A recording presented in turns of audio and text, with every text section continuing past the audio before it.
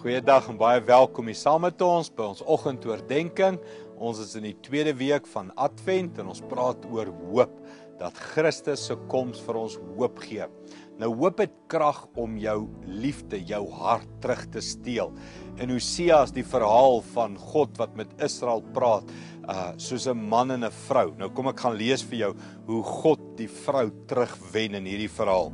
Hosea 2:13 sê: "Daarom sal ek haar naderlok en weer terugwen. Ek sal haar na die woestyn toe lei en daar teer dinge vir haar sê." ek sal daar haar wingerd aan haar teruggee. Dan sal die Akron vlakte verander in 'n deur van hoop.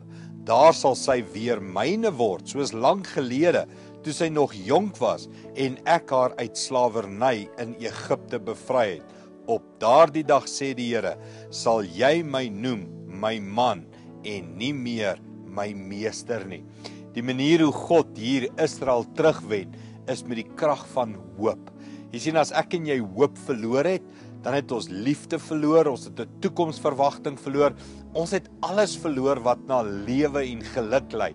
En God weet dit. Hy sê ek gaan daai akron vlakte gaan ek verander in 'n deur van hoop. Daar in die woestyn, daar waar niks goeds uitgekom het nie, daar waar alles droog was, daai plek sal ek verander in 'n deur van hoop. En as jy deur die deur van hoop stap, dan verander dit jou hele verhouding met God. Dit bring jou terug van meester na man toe, na baas na geliefde toe.